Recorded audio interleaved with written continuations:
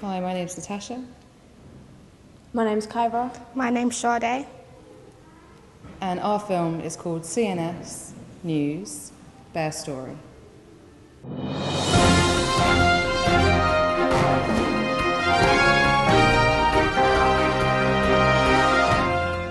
Hi, we're here to celebrate the 110th anniversary of the bear in England. And uh, we're here with a special story about a bear who was given to a little boy called Dudley by his great aunt for a christening. The bear survived the First and the Second World War, and now he's living here in the Geffrye Museum.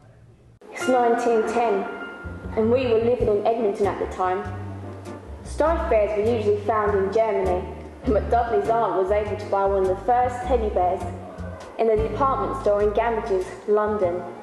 Dudley's cousin was orphaned, so he and his teddy bear Robbie went to live with Dudley.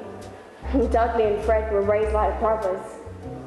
Fred took Robbie everywhere, even on the bombing campaigns, as Robbie was seen as a lucky mascot in World War II. Although Robbie didn't come back home, and neither did Fred. I'm Bruce the Bear, originally from Germany.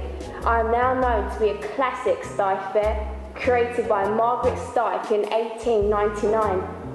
Oh, ah, me and Dudley have shared a lot of memories. We've made it through both world wars until the 14th of April 2005. That was the day Dudley auctioned me to the Geffrye Museum. It was sad to see Dudley leave, but I know Dudley cannot live forever as he's human. And Dudley knows that I can here at the museum. After Dudley left me, he felt all alone, so I bought some new teddy bears. Hi, I'm Susie Bear. Bears are featured in Goldilocks and the Three Bears to the Teddy Bears Picnic.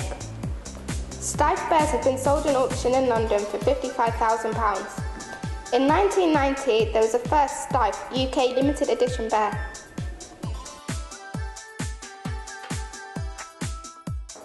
Now in 2010, bears are just as popular as they were 100 years ago. Now, back to the studio.